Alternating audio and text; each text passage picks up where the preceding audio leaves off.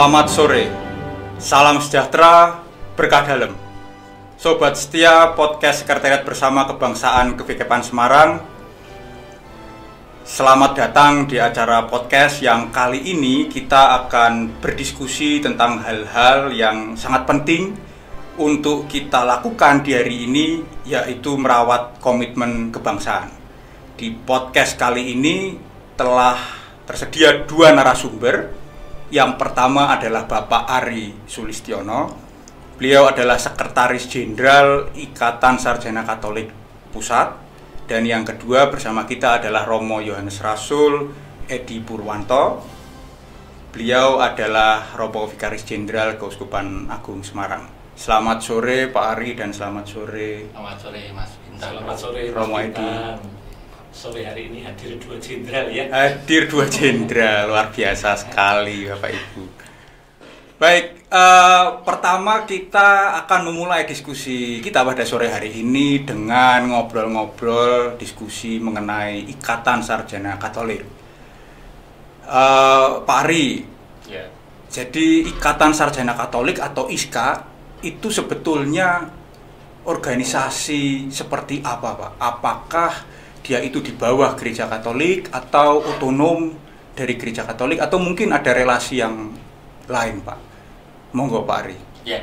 Jadi Ikatan Sarjana Katolik itu kalau kita mau bicara mengenai sejarahnya didirikan tahun 1958 1958. tepatnya 22 Mei.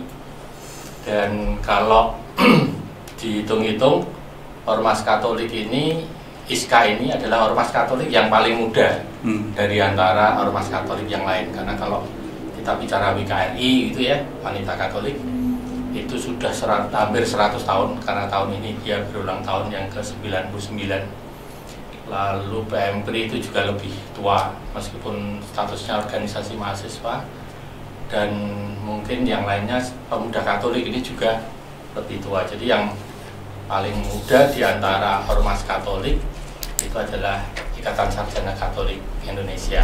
Kita memang eh, sebagai organisasi yang menyandang nama Katolik, tentu saja kita adalah juga putra putri gereja menjadi bagian dari gereja yang berkarya di dalam masyarakat secara umum. Baik, Pak. Mungkin kalau kita beranjak lebih jauh, Pak. Mengenai visi, Pak. Visi dari Ikatan Sarjana Katolik yang didirikan pada tahun 1958 itu apa, Pak? Apa yang ingin dicapai oleh organisasi ini, Pak? Jadi eh, sesuai dengan apa anggota yang berhimpun, anggota yang mengikatkan diri dalam organisasi ini adalah para sarjana dan para cendekiawan Katolik. Maka visi yang mau kita capai dalam berorganisasi ini adalah menjadi organisasi cendekiawan, menjadi organisasi sarjana Katolik yang eh, bermartabat, punya perhatian terhadap kesetaraan dan harkat kemanusiaan. Lalu bagaimana dengan misi kita ya? Misi kita ini kita punya tiga rumusan kalau saya tidak hafal seluruhnya ya, tetapi bahwa sebagian atau garis besarnya kira-kira begini bahwa organisasi Ikatan Sarjana Katolik Indonesia itu eh, ingin mengoptimalkan peran sarjana, peran cendekiawan Katolik di dalam karyanya. Karena apa? Karena barangkali selepas dari studi mahasiswa menjadi sarjana itu kan tri dharma perguruan tinggi itu sudah rasanya sudah berhenti. Betul. Tetapi ISKA mencoba mengangkat ini sebagai sebuah perjalanan hidup yang panjang yang akan terus dijadikan semangat bahwa hidup itu eh, sebagai seorang sarjana memberi kontribusi kepada masyarakat, kepada tanah air melalui proses pendidikan, melalui proses penelitian dan juga pengabdian Pengabdian masyarakat luar biasa. Baik. Kemudian ada misi yang kedua kita menjunjung tinggi martabat kemanusiaan dan kesetaraan itu sebagai misi yang kedua. lalu berdaya upaya menjaga komitmen kebangsaan yang menjadi tema kita pada sore hari ini kita bicarakan. Jadi menjunjung apa uh, komitmen atau menjaga merawat komitmen kebangsaan ini menjadi sebuah tidak hanya cita-cita satu periode, dua periode, tiga periode, tetapi berkesinambungan. Berkesinambungan karena menjadi bagian dari misi Ikatan Sarjana Katolik Indonesia. Pak Ri, kalau misalnya nih Pak, ada mahasiswa yang sudah lulus lalu ingin bergabung dengan Ikatan Sarjana Katolik, bagaimana caranya Pak? Ya, uh, sejak Munas di Medan, terutama amanat amanat dari Munas di Pontianak, musyawarah warga di Pontianak terakhir, organisasi ISKA ini sudah tidak bisa mengklaim sebagai organisasi yang apa namanya otomatis begitu ya. Jadi setiap sarjana lalu otomatis diklaim jadi, jadi otomatis anggota, jadi anggota ya. Betul. Karena ternyata kan tidak semua sarjana Katolik itu mau sukarela diklaim begitu. Betul lalu juga dalam peraturan keorganisasian secara organisasi undang-undang keormasan itu organisasi yang menyatakan diri sebagai organisasi yang resmi itu dia harus menganut sistem stelsel artinya seorang anggota yang mau menjadi anggota organisasi itu harus mendaftarkan diri. Jadi aktif mendaftarkan diri lalu berkesempatan untuk diberikan apa orientasi di tingkat yang paling tingkat bawah paling bawah di tingkat cabang lalu dapat kartu anggota dapat buku ADART lalu mulai terlibat seperti teman-temannya yang lain jadi kalau sudah di ISKA itu tidak ada perpeloncoan gitu ya. Tidak ada perpeloncoan. Kalau zaman dulu kan kalau masuk organisasi mahasiswa pemuda itu kan harus harus dipelonco dulu, betul. kalau ISKA tidak ada. Jadi kalau sekarang Gen Z sudah nggak ada, Pak. Ya jadi sarjana lalu dia mau terlibat itu saja kita sudah senang lalu kita bisa gabung di sana bisa melakukan ya kegiatan-kegiatan yang dilakukan oleh teman-teman yang lain di ISKA. Oke. Okay. Dan mungkin uh, organisasi ini karena sifatnya organisasi yang terstruktur dari pusat sampai daerah. Kita itu ada pengurus namanya Presidium Pusat Ikatan Sarjana Katolik Indonesia itu berpusat di Jakarta dan kebetulan memang di ADART-nya itu di ibu kota negara. Nah kita nanti kan pindah ibu kota negara ya, jadi kalau pindah ke IKN berarti ya, IKN kita harus harus mungkin harus menyesuaikan diri. Lalu ada di pengurus di tingkat provinsi yang namanya Dewan Pengurus Daerah ISKA itu di tingkat provinsi. Di setiap provinsi di setiap seluruh provinsi, Indonesia. seluruh Indonesia tapi kita baru 24 provinsi oh, yang 24 definitif ada di sana. Kemudian ada yang namanya Dewan Pengurus Dewan Pimpinan Cabang atau DPC hmm. DPC itu adalah di tingkat kabupaten kota. kabupaten dan kota. Memang kita menganut jalurnya jalur pemerintahan. Oh, baik, kalau baik. yang di teman-teman kan ada yang menggunakan jalur gereja. Kalau gereja kan berarti tingkat keuskupan, tingkat paroki gitu ya. Betul. Kita lebih ke jalur apa uh, struktur pemerintahan. Jadi mengikuti struktur di pemerintahan. Tingkat cabang berarti kabupaten kota, di tingkat provinsi uh, di apa DPD dan di pusat di Jakarta. Dan setiap orang yang mau bergabung dengan ISKA bisa menghubungi cabang di kota di kota masing-masing. masing-masing. Ya. Baik. Baik Pak Ari. Terakhir Pak Ari ISKA ini kan sudah lama Pak ya, ya. dari tahun 1958. Ya, 65 tahun ya. 65 tahun. Sampai saat ini bagaimana cara ISKA itu meraih umat Pak? Maksudnya dia turun ke umat, membersamai umat dengan segala macam dinamika problematika kehidupan umat sehari-hari Pak. Ya, uh, mungkin dalam banyak pengalaman kehadiran ISKA di daerah-daerah itu memang eh, apa ya menjadi agen agen perubahan bisa. Atau dia juga menjadi eh, agen advokasi ya. Seperti kasus-kasus eh, pembangunan gereja yang terhambat di beberapa wilayah di luar pulau juga di Pulau Jawa. Itu ISKA hadir secara formal sebagai mengadvokasi umat, mengadvokasi panitia pembangunan gereja untuk menjalin relasi dengan pihak-pihak yang berkeberatan untuk pembangunan gereja lalu dari sana eh, ada proses yang memungkinkan gereja dibangun. Jadi eh, kita hadir dalam posisi-posisi seperti itu.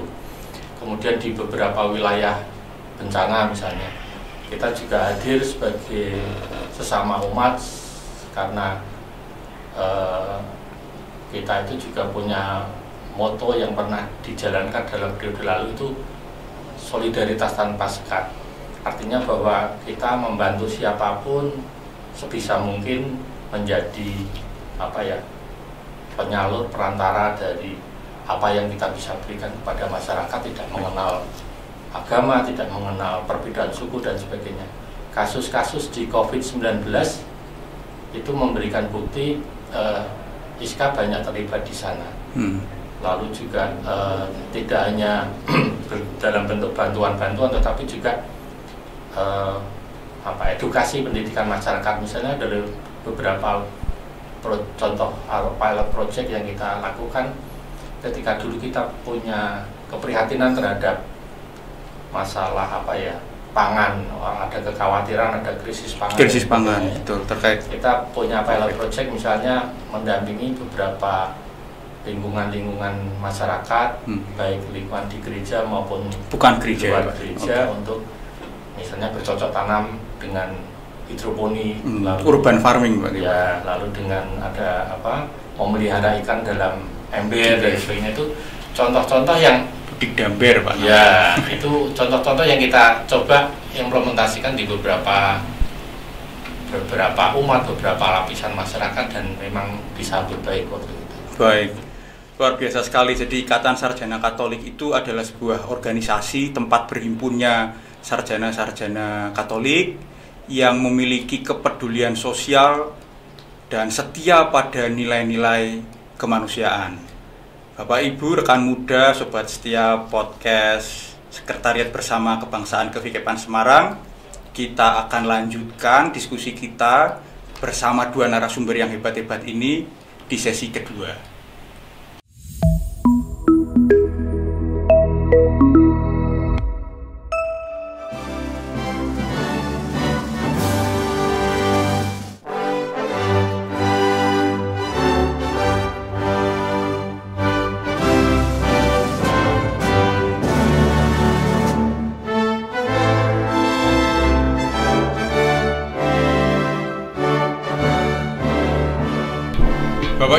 Rekan muda, sobat podcast, kita kembali lagi berdiskusi dan berbincang-bincang dengan dua narasumber yang hebat ini.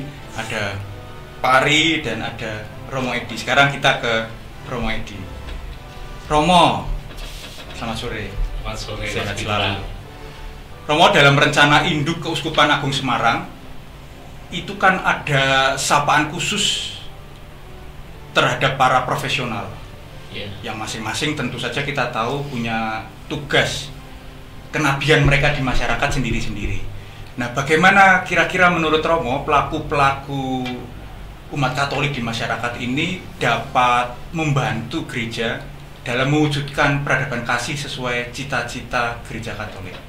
Monggo Romo. Terima kasih Mas Bintang.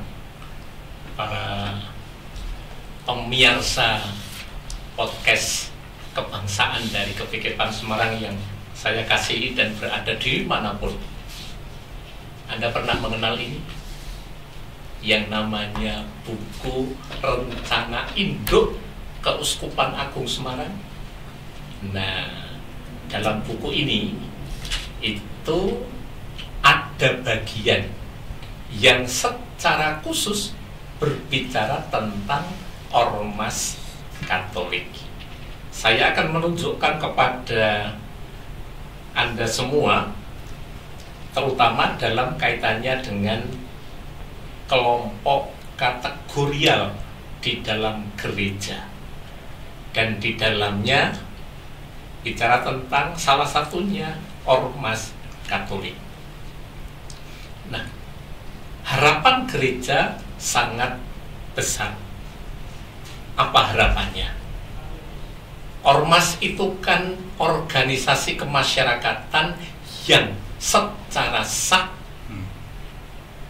mendapatkan pengakuan negara melalui Kemenkumham sekarang ini. Maka harapannya adalah bahwa rekan-rekan yang tergabung di ormas ini perannya menjadi lebih signifikan, lebih nyata di tengah masyarakat. Karena apa? Karena jalur kenegaraan atau jalur pemerintahan itulah yang menjadi basis dari gerakan perjuangan ormas-ormas ini. Dan kalau ada yang belum sangat mengenal ada berapa ormas sih di gereja Katolik itu? Setidak-tidaknya yang paling klasik itu ada empat. Satu, wanita Katolik Republik Indonesia yang disingkat WKRI. Yang kedua, Perhimpunan Mahasiswa Katolik Republik Indonesia yang disingkat PMKRI. Pemuda Katolik dan yang terakhir tadi yang Mas Ari sudah menerangkan yakni tentang ISKA. Dan segmennya jelas, perempuan, orang muda, mahasiswa, dan para cendekiawan Katolik. Itu cukup klasik bagi saya. Semoga nanti munculnya ormas-ormas baru semakin menegaskan keberadaan mereka yang menjadi kelompok penguat kesaksian iman Katolik di tengah masyarakat, di tengah perjuangan mewujudkan peradaban kasih. Dan saya rasa apa yang dilakukan mereka ini pada wilayahnya sadar atau tidak sadar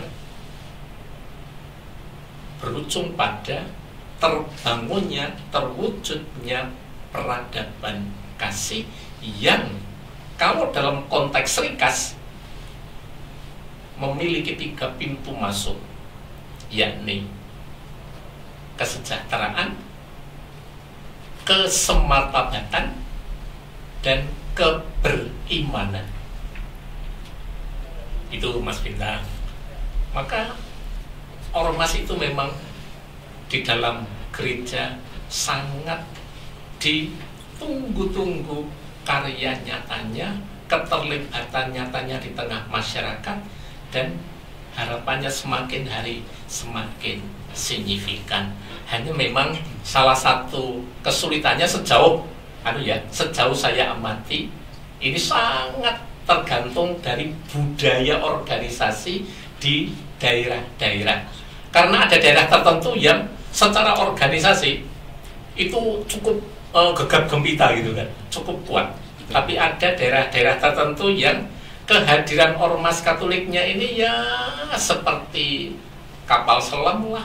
Kadang muncul, kadang tenggelam, kadang muncul, kadang tenggelam dan sangat ditentukan oleh karisma pimpinan setempat. Kalau dia di DPD ya ketua DPD, kalau di pusat ya ketua umum, sangat dipengaruhi oleh itu. Sejauh saya amati loh ya, Iya. saya sebagai the outsider, saya merasa ya, ya benar ya memang ada Ada apa faktor. namanya ada faktor-faktor dan salah satu faktornya adalah tadi ka- eh, apa namanya karisma pemimpin setempat. Baik. Ada kalanya pemimpinnya bagus dan punya visi kreatif gitu, yuk maju Hmm. dan gerakannya jelas, semangatnya ada. Tapi nanti kalau ada pemimpin yang tidak cukup visioner, tidak kreatif gitu ya, akhirnya ya mulai melemah lagi. Baik, Romo. Ini Aku menarik tahu- Romo. Aku udah tahu loh nanti, Iya. Mas, Mas Ari setuju apa enggak? Iya. Ini menarik Romo Edi dan Pak Ari. Eh, hari-hari ini kan kita sedang masuk tahun-tahun politik. Hmm. Akhir tahun ini dan kemudian awal tahun depan. Nah, kira-kira ini menurut Romo Edi dan Pak Ari, bagaimana posisi dari ormas-ormas Katolik di tengah situasi politik yang kata banyak orang sih tidak sedang baik-baik saja, terutama karena ada masalah sentimen agama, ya, berkat pemilu-pemilu yang lalu dan juga masalah primordialisme. Hmm. Bagaimana gereja Katolik dan bagaimana ormas Katolik itu melihat situasi ini? Bagaimana umat Katolik harus berposisi di dalam situasi seperti sekarang ini? Monggo, mungkin Pak Ari dulu. Ya, Eh, secara organisasi ya, artinya Ikatan Sarjana Katolik itu kan ormas Katolik yang bersentuhan langsung dengan ya politik masyarakatan, lalu kehidupan sehari-hari, keterkaitan dengan isu-isu politik dan sebagainya. Tentu ormas Katolik itu akan tetap menjaga independensi.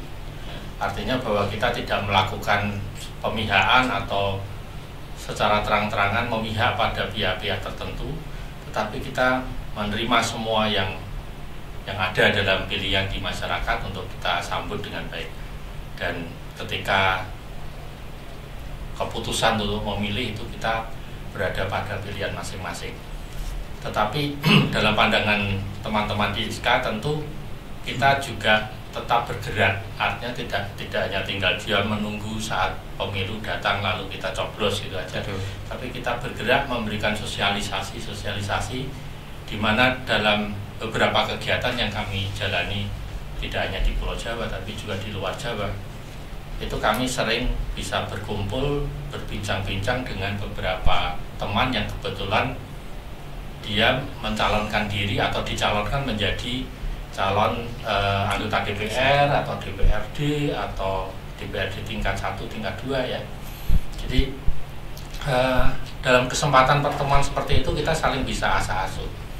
Artinya bagaimana dalam keberbedaan yang ada mereka kan mungkin bisa berasal dari partai A, partai B, partai C ya. Tapi kita bisa ketemu. Lalu bagaimana mengatur siasat, bagaimana bisa memenuhi target untuk mereka bisa masuk ke lembaga legislatif ini ya kita kita kita bicarakan aja bagaimana eh, strategi yang harus dilakukan pendekatan ke masyarakat dan sebagainya itu bisa mereka lakukan tetapi bahwa kami mengarahkan untuk ke sana ke sini itu tentu tidak, Tidak ada begitu. ya. Baik. karena politik kita adalah politik kebangsaan ISKA menganut politik kebangsaan artinya bahwa kita mau bahwa siapa pun yang kita dukung, kita dudukan dalam satu lembaga itu berperan optimal untuk kesejahteraan masyarakat. Betul, betul. Sepakat. Tanpa kita memandang uh, perbedaan-perbedaan yang ada, apakah rasnya, sukunya, agamanya, ya, uh, status sosial ekonominya itu bukan menjadi sesuatu yang harus dibeda-bedakan justru itu menjadi perekat menjadi kekuatan kita dalam hidup kemasyarakatan kita berbangsa dan bernegara. Bernegara. dan itu memang salah satu juga misi yang diemban oleh ISKA. Jadi bagaimana kita menghargai martabat manusia kesetaraan lalu juga komitmen kebangsaan itu yang eh, jadi perhatian kita Baik. Romo, bagaimana Romo? Gereja. Katolik melihat tahun politik ini yang penuh hingar-bingar, Romo. Ada berita palsu, misinformasi. Aku setuju dengan apa yang dikatakan Mas Ari. Mestinya ormas Katolik konsisten ya di jalur kaderisasi, di jalur pemberdayaan, di jalur literasi. Saya sangat setuju di situ. Dan kalau misalnya kita sudah mencetak kader-kader, lalu arahnya memang tidak, istilahnya tidak mengarahkan, tetapi mendorong kader ini untuk terlibat seoptimal mungkin. Dan bila memang mereka itu kepengen sekali hadir dalam politik praktis, ya sudah. Karena memang ormas bukan orpol, gitu kan?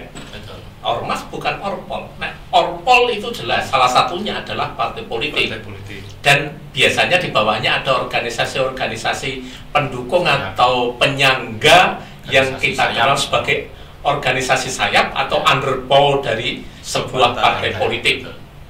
Nah di situ saya kok merasa memang tempat ormas tidak dalam konteks menjadi underbow parpol tertentu, tetapi bisa menyediakan kader-kader yang bisa saja direkrut oleh partai politik tertentu atau kita sendiri memang mendorong kamu coba terlibat secara langsung wong kamu punya kapasitas kamu punya kompetensi dan segala macam. Nah rasa saya di situ. Bahwa kemudian sekarang dalam hiruk pikuk politik ini kita menjumpai banyak hal yang saya katakan tadi uh, membingungkan bagi masyarakat itu. Ya salah satu tugas dari ormas adalah memberi literasi pencerdasan kepada masyarakat supaya masyarakat kita tidak mudah diobok-obok, diosak-asik atau diobrak-abrik oleh cara-cara yang bagi saya sangat tidak mencerminkan spirit kebangsaan. Spirit kebangsaan. Iya. Saya merasa peran Ormas Katolik ada di situ dalam konteks ini loh ya. Ya, baik.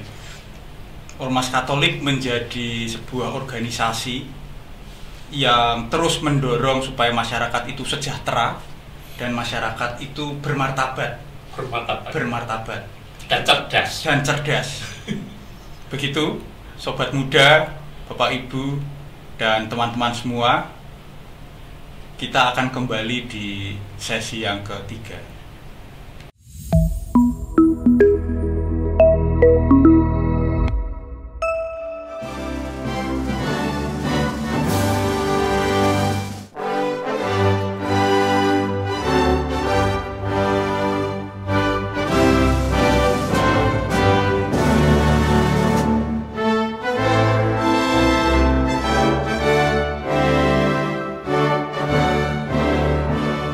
Sore, rekan-rekan muda semuanya, Bapak Ibu, selamat kembali lagi di podcast Sekretariat Bersama Kebangsaan Kehidupan Semarang.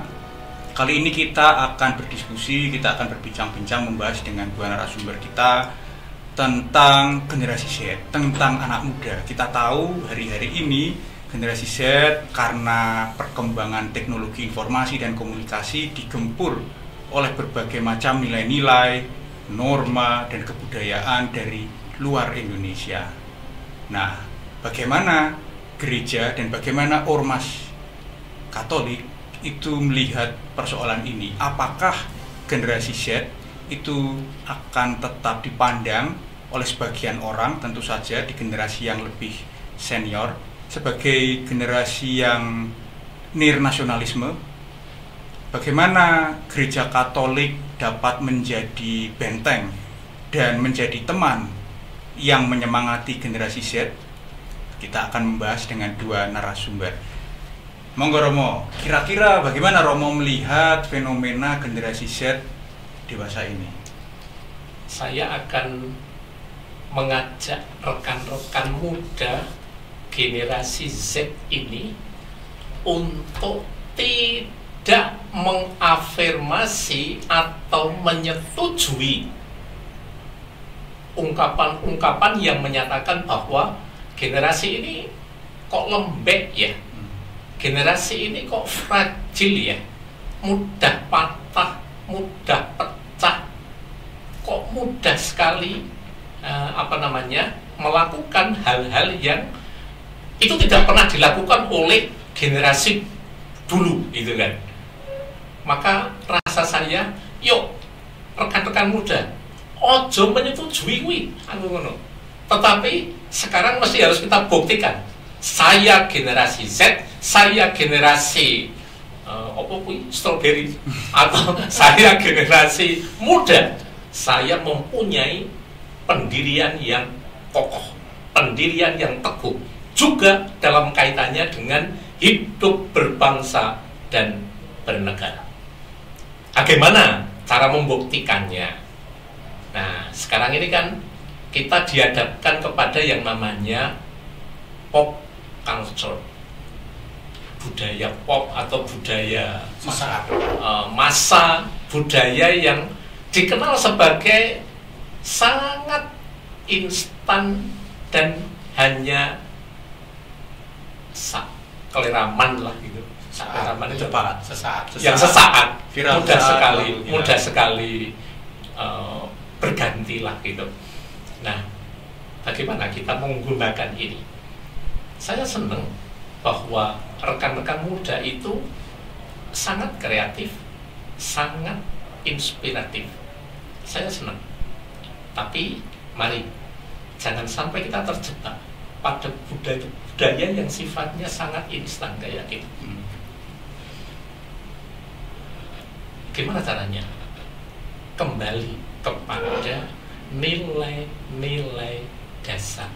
Misalnya, dalam kaitannya dengan berbangsa dan bernegara, kita punya Pancasila.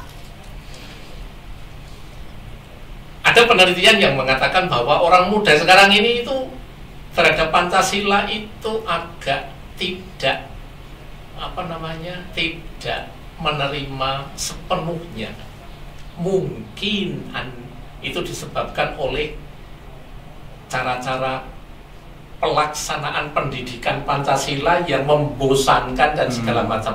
Tapi mohon dibedakan loh ya, mohon dibedakan antara bagaimana Pancasila dan nilai-nilainya itu disosialisasikan, diajarkan dengan nilai-nilai dasar yang terkandung di dalamnya itu sendiri. Mohon dibedakan.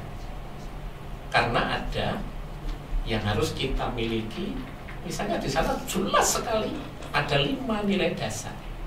Satu, ketuhanan itu kan soal keberimanan. Dua, kemanusiaan. Ketiga, persatuan. Empat, kemasyarakatan, musyawarah, demokrasi, dan yang kelima, Keadilan keadilan sosial. Itu kan nilai yang sangat dasar. Biar kuno sampai sekarang itu tidak pernah akan berubah dan memang tidak akan diubah.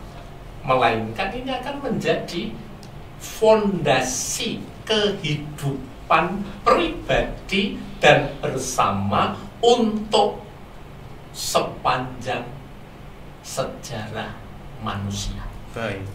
Menarik sekali Romo, apalagi kalau dihubungkan dengan rencana Induk Keuskupan Agung Semarang Ya, bahwa salah satu strategi untuk mencapai peradaban kasih seperti yang ingin dicapai oleh gereja Katolik itu adalah dengan memperkuat jiwa keindonesiaan Hmm. yang basisnya itu merujuk kepada nilai-nilai kemanusiaan dan keadilan yang dasarnya adalah Pancasila. Nah, sekarang kita menuju ke Pak Ari. Ya. Kalau menurut Pak Ari, bagaimana ormas Katolik itu semakin mendorong umat, semakin mengajak umat untuk mencintai Indonesia di tengah bahwa banyak sekali informasi yang mengatakan Indonesia itu banyak kurangnya dan kita juga digempur oleh berbagai macam informasi dari internet bahwa apa yang ada di luar negeri itu jauh lebih nikmat daripada Indonesia. Ya. Baik. Jadi saya ingin memberi beberapa hal catatan yang tadi disampaikan oleh Romo Edi. Menarik. Jadi eh, berbicara mengenai generasi muda, anak muda, gitu kan. Kalau tadi Romo kan mengingatkan kembali, ayo kembali ke nilai hakiki, nilai dasar sebagai bangsa Indonesia. Saya menangkap eh, kejadian pandemi COVID-19 itu sebetulnya menjadi sebuah apa ya sebuah tekanan juga bagi anak-anak muda kaum remaja ya Iya. bagaimana tidak dalam 2-3 tahun yang lalu itu mereka harus banyak tinggal di rumah Iya. menjadi orang-orang yang tinggal di rumah tidak banyak bergaul di luar lalu menggunakan handphone sebagai sarana berkomunikasi melihat TV sebagai sarana untuk mendengar berita ya.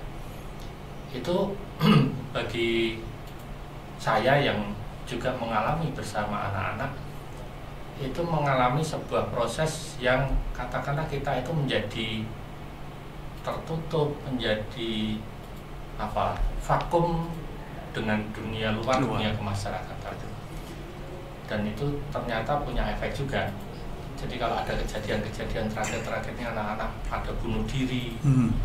Lalu putus asa tidak merasa punya harapan dan sebagainya bisa jadi ya bisa jadi ini karena eh, masalah-masalah itu. Namun demikian saya melihat bahwa proses ini kan sudah berlalu artinya kita sudah mencoba kembali pada situasi normal. Eh, interaksi masyarakat pergaulan masyarakat sudah mulai membaik. Lalu juga saya menangkap eh, meskipun di luar sana ada berbagai keprihat- keprihatinan kita tentang apa eh, kabar palsu hoax Berita hoax ya. berita-berita yang Misinformasi, fitnah memfitnah satu fitnah, sama betul, lain, ya. betul. Tetapi kita melihat bahwa itu tidak semua menghantui, tidak semua merasuki eh, anak-anak atau remaja kita. Saya menangkap begini. Beberapa waktu yang lalu kami menyelenggarakan satu acara. Dan acara itu sebetulnya mau menjadi satu acara model di Jakarta. Dan kebetulan kami mengumpulkan hanya 50 orang lah supaya eh, menjadi model dulu. Dan satu pertemuan itu adalah pertemuan di mana kita menggagas tentang anak muda dan pandangan mereka tentang kebangsaan, pandangan mereka tentang toleransi, pandangan mereka tentang hidup kemasyarakatan. Dengan tiga pembicara, dua internal dari kita.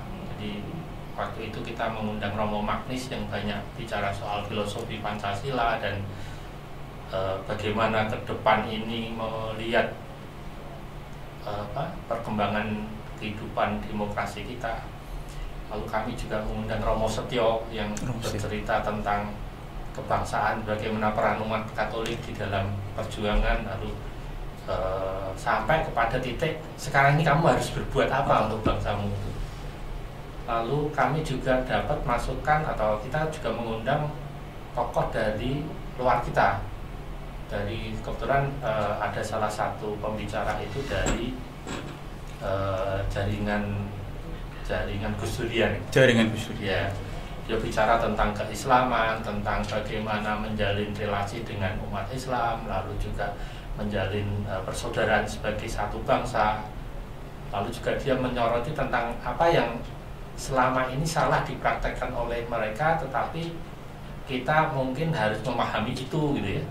Itu ternyata anak-anak yang kebetulan pesertanya itu antara anak-anak SMA dan perguruan tinggi yang belum lulus semester 2, semester 4 itu begitu antusias. Jadi mereka ternyata kalau disajikan materi yang menarik dengan cara yang menarik, mereka dilibatkan diskusi-diskusi, mereka ternyata punya ke- kepedulian ke sana itu. Maka model kami itu ternyata diminta untuk jadi model digabung. Jadi kita punya program waktu itu program hibrid. Jadi ada yang ikut online seluruh Indonesia, Ada lalu yang secara ada offline. secara offline. Dan sekarang ini ada yang sudah antri. Iya. Artinya bahwa pengurus-pengurus ISKA di beberapa daerah punya agenda supaya kita di pusat me- menyiapkan program yang sama Di banyak di tempat. banyak tempat. Ya, di banyak tempat. Artinya bahwa kita melihat kalau kita memberi sentuhan yang benar pada remaja, generasi muda, eh, para kaum milenial ini dengan nilai-nilai yang hakiki yang tadi Romo Iya. sudah sampaikan tapi dengan di pola cara penyajian yang menarik dan siapa yang dilibatkan untuk ber- berbicara yang tidak hanya berbicara tapi mengalami proses eh, sesungguhnya dari dari apa yang terjadi di antara kita itu akan menjadi menarik bagi mereka itu akan menjadi apa ya menjadi semangat bagi mereka bahwa mereka harus menjadi yang terbaik bagi bangsa Betul, inilah betul. menurut saya Iya. Berarti masih ada harapan. saya melihat masih ada Masih harapan ada besar harapan. ya artinya di, di sana ada optimisme kita bersama-sama dengan eh, generasi milenial generasi muda generasi remaja yang apalah namanya Iya. kita bisa masih bisa uh, membangun Indonesia ini menjadi lebih baik, lebih optimis Oke. bersama mereka. Baik. Terakhir ini Pak Ari menyambung Pak Ari dan kemudian Romo. Apa harapan Pak Ari untuk kaum muda, kaum muda Katolik, supaya mereka dapat merawat kebangsaan Indonesia ini ke depannya? Karena bagaimanapun mereka adalah generasi yang akan mewarisi Indonesia ini. Ya, jadi uh, prinsipnya begini, kalau kita kembali ke sejarah ya, sebetulnya komitmen kebangsaan kita itu kan dimulai sejarahnya sejak 1908 dengan Budi Utomo di mana konsentrasi fokusnya pada bidang budaya dan pendidikan dan ada keinginan untuk menyatu sebagai satu bangsa gitu. Lalu 1908 itu berlanjut ke 1928 Sumpah Pemuda. Sumpah Pemuda ini lebih konkret komitmen kebangsaan kita adalah satu nusa, satu bangsa, satu bahasa Indonesia. Ini menjadi satu hal yang konkret lagi ketika uh, proklamasi kemerdekaan 1945. Kita menyatakan bahwa kita merdeka, kita juga menentang penjajahan di atas bumi, juga kita menuntut semua manusia punya hak untuk kemerdekaan lalu kita membawa bangsa ini pada kesejahteraan dan keadilan sosial.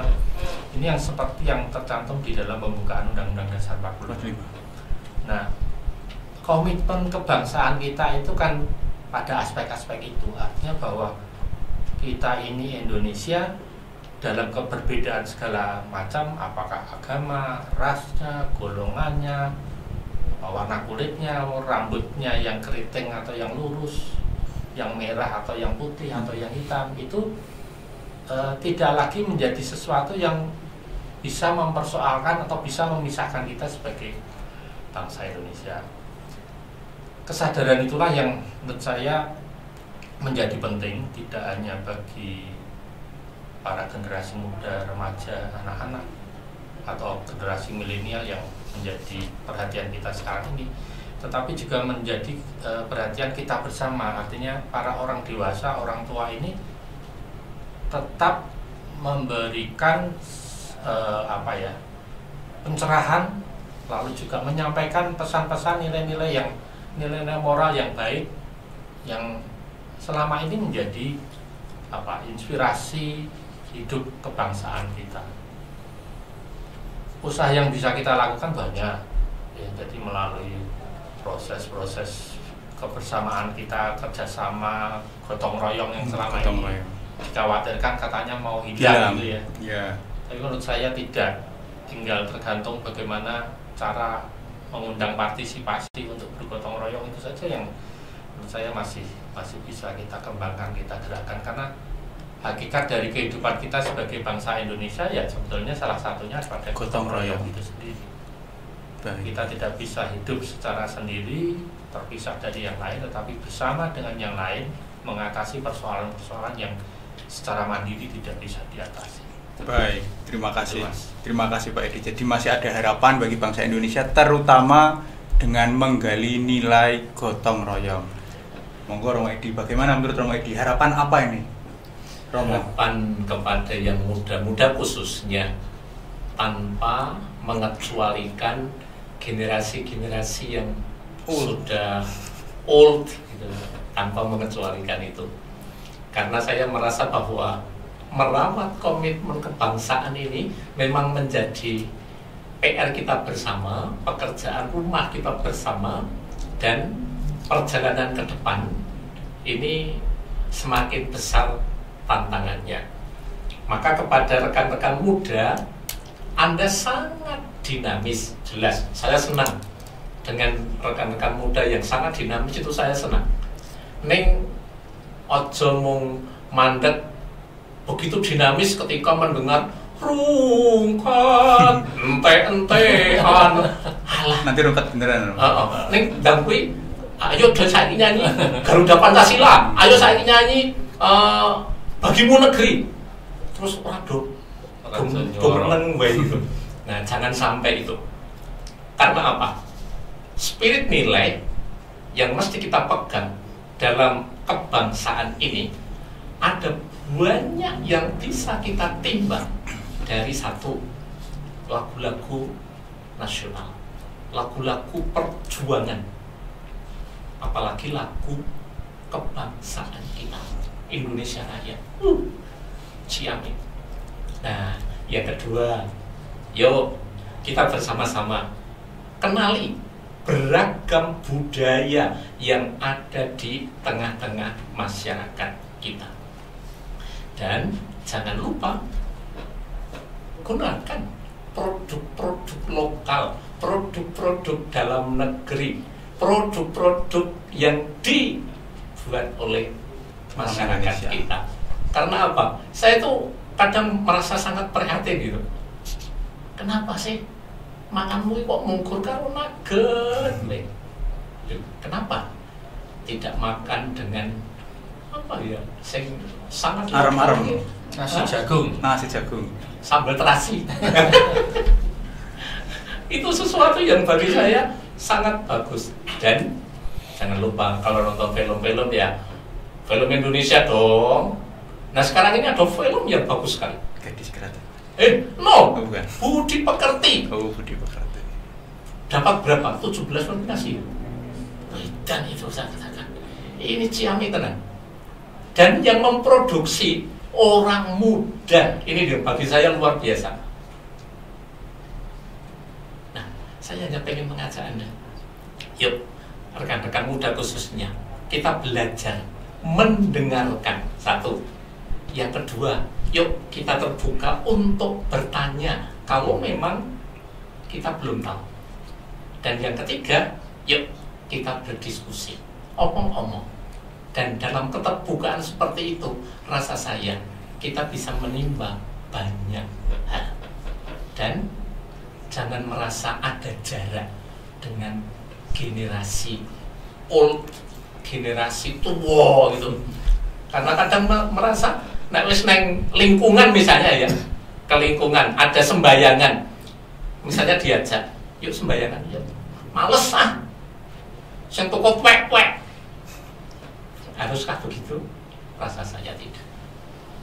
Mari kita semangat merawat Indonesia, merawat spirit kebangsaan ini, dan jangan pernah lupa Pancasila, Undang-Undang Dasar 45, Bhinneka Tunggal Ika, dan NKRI, Negara Kesatuan Republik Indonesia. Ini adalah konsensus kita bersama sebagai bangsa. Sobat setia podcast kebangsaan Kebekepan Semarang, sampailah kita di penghujung diskusi kita pada sore hari ini. Terima kasih pada Pak Ari, terima kasih pada Romo Edi. Terima kasih Mas Bintang, terima kasih. Terima Ari. kasih. Semoga harapan-harapan kita semua yang berada di sini terhadap umat Katolik di Indonesia itu dapat terwujud seturut dengan cita-cita Romo Kanjeng Monsinyur Albertus Sugio Pranoto 100% Katolik dan 100% patriot Indonesia. Ya, Sekali lagi terima kasih sobat muda semuanya. Selamat sore, berkah dalam dan sampai jumpa di podcast-podcast berikutnya. Dah.